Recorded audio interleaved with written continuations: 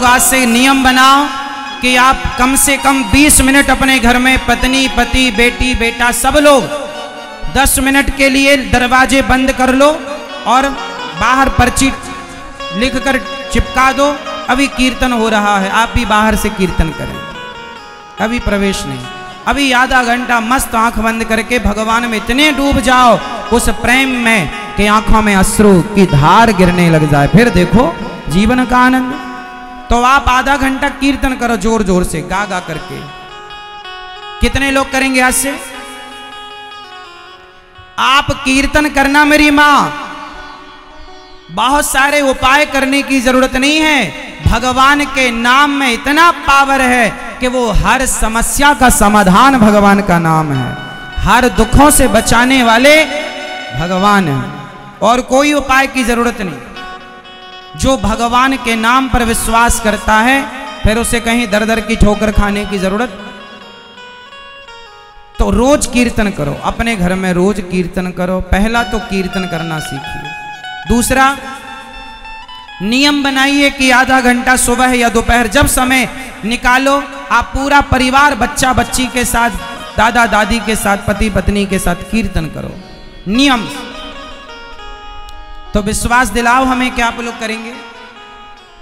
और यदि आपने ये किया तो आप स्टाम्प पर लिखवा के लाना मैं साइन करूँगा। जो आप चाहते हैं, संसार का सुख चाहते हैं तो सुख मिलेगा। धन चाहते हैं, धन मिलेगा। यदि आप पद प्रतिष्ठा चाहते हैं, पद प्रतिष्ठा मिलेगी। और मोक्ष चाहते हैं तो भगवान नाम से मोक्ष। जो चाहिए जो कामना है, आप लिख के रख दो। भगवान के चरणों में, कागज़ पर। पर नियम बनाना है, हमेशा जब तक प्राण रहेंगे, आपको कीर्तन करना है। आप इच्छा लिख करके भगवान के चरणों में रख दो, कीर्तन करते रहो, भगवान से अथाह प्रेम रखो बस। जो इच्छा है लिख के रख दो भगवान गोपाल जी के चरणों में बस। जो इच्छा है वो पूरी ना हो जाए तो कहना, और आप कीर्तन निरंतर बनाए रखो। आपके घर का क्लेश कष्ट ना समाप्त तो हो जाए, एक बार मेरे कहने से नाम पर विश्वास करके देखिए। खूब कीर्तन कीजिए। नियम बनाइए। कीर्तन। चैतन्य महाप्रभु क्या करते थे? कीर्तन। नाम जप। खूब नाम। तुलसीदास जी ने क्या किया? खूब नाम जप किया। मीराबाई क्या करती हैं? नाम जप, मेरे तो गिरधर गोपाल, मेरे तो गिरधर गोपाल, मेरे तो गिरधर केवल नाम जप, गिरधर गोपाल गिरधर गोपाल गिरधर गोपाल गिरधर गोपाल। नाम जप। तुलसीदास जी ने सीताराम सीताराम सीताराम, सीता, नाम जप। कबीरदास जी ने नाम जप। कबीरा सब जग निर्धना, धनवंता नहीं कोय धनवंता सोई जानिए, जखे राम नाम धन होए। राम राम, सीताराम, सीता। केवल नाम जप। श्री रामानुजाचार्य स्वामी जी ने केवल नाम जप कराया, नाम जप। खूब नाम जप करो, कीर्तन करो बस। और तीन नियम का पालन करो। नियम ज़रूरी है। नियम क्या क्या होना चाहिए? पहला नियम, माथे पर तिलक लगाने का। माछे पर क्या लगाएँगे मेरी माँ? तिलक। स्त्रियाँ भी तिलक लगाएँगी और पुरुष भी तिलक लगाएँगे। माछे पर तिलक लगाइए। बच्चों की चोटी रखिए। तिलक, बोलो तिलक। आप लोग तिलक क्यों नहीं लगाते? आज लगाए हो, कल लगाए थे, घर पे लगाते हो। तिलक सब लोग लगाओ।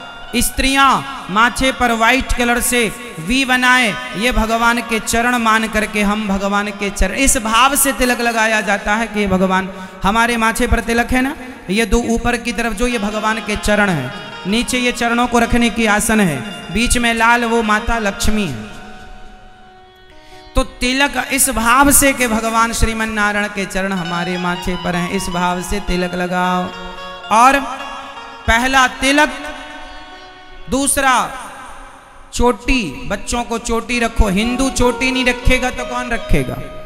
तिलक चोटी और तीसरा नियम रखो, घर की रोटी।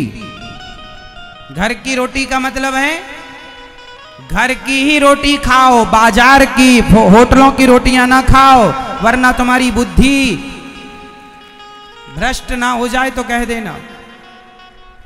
किसी को अपनी बुद्धि भ्रष्ट करानी है तो बाज़ार का खाना शुरू कर दो खाना।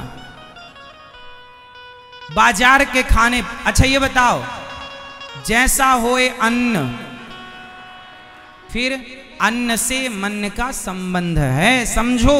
अरे मन अच्छा तो सब अच्छा मन चंगा तो कठौती में गंगा, मन अच्छा नहीं तो अन्न गलत होगा। आप एक काम करना, मैं अन्न का प्रमाण आपको दे रहा हूँ। गीता में लिखा, अन्नम ब्रह्म, अन्न ईश्वर का स्वरूप है। आप एक काम करना, किसी चोर के घर जाकर रोटी खाना। तो जब तक उसकी रोटी आपके पेट में है, तब तक आपके मन में भी चोरी करने के विचार आएँगे। क्योंकि विचारों का जन्म ही अन्न से होता है। भाई थॉट कहाँ से प्रकट होते हैं? हमारे अंदर अच्छे, आप चार दिन कुछ मत खाओ, आप विचार शून्य हो जाएँगे। भाई, चार दिन से कोई भूखा हो तो कोई विचार ही नहीं आएगा। आएगा? आएगा? यदि आपके अंदर अच्छे या बुरे विचार आ रहे हैं तो पेट भरा होगा तो विचार आएँगे। पेट खाली होगा, आपके अंदर कोई विचार ना होगा। बोलो, हाँ, इसलिए जितना अच्छा खाओगे, उतने अच्छे विचारों का जन्म होगा। इसलिए भोग लगाकर ही खाएँगे। कैसे खाएँगे? कैसे खाएँगे? भगवान जी को तुलसी पत्ता डालकर ठाकुर जी को भोग लगाओ, फिर खाओ। बाज़ार की चीज़ें, बाज़ार में बिना नहाए लोग बना रहे हैं। कौन बना रहा है? जूता पहनकर, चप्पल पहनकर, कैसे शुद्धि अशुद्धि? खाओगे तो बुद्धि का क्या होगा? इसलिए जैसा अन्न, यदि मन को सवारना है तो फिर अन्न को सुधारना पड़ेगा। यदि मन को नहीं सवारना तो फिर जो आप खाते हैं, खाओ। तो तीन नियम तो रखो। जीवन में नियम होना ज़रूरी है। जिसके जीवन में नियम नहीं है, वो जानवर है। जिसके जीवन में नियम है, वो इंसान है, वो समझदार है। इसलिए नियम का होना ज़रूरी। तो कितने नियम हो गए आपके लिए? ज़ोर से।